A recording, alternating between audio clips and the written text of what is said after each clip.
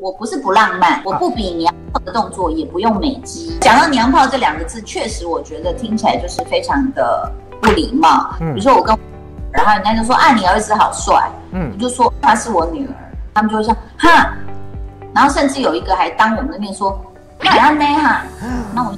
啊，不想。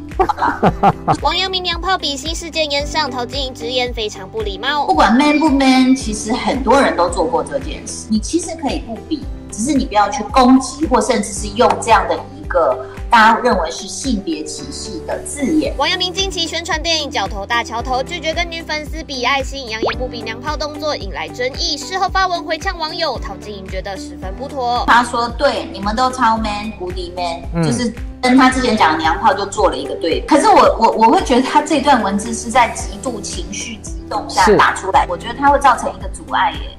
什么阻碍呢？就是八九啊，或黑道啊，或。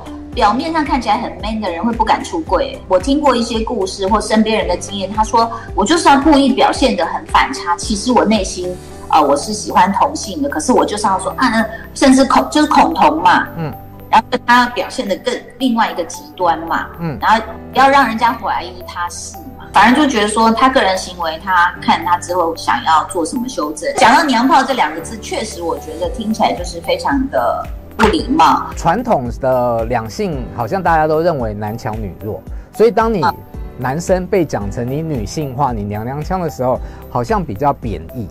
那当你是女生被形容你是呃男人婆、娘子汉，像老一辈的还是很难接受，因为有时候，比如说我在台湾碰过好几次，比如说我跟，然后人家就说啊，你儿子好帅，嗯，我就说他是我女儿。其实我们已经习惯了，对方可能说是老太太或者是阿伯，他们就会说哈，然后甚至有一个还当我们的面说，那要呢哈，那我啊不想好啦。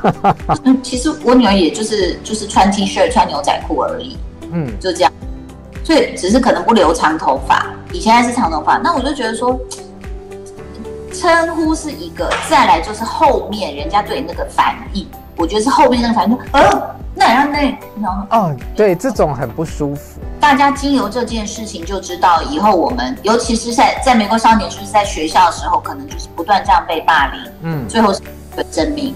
那我觉得这个就是会从语言暴力、精神暴力变成行为动作的暴力，这个有可能。那我们。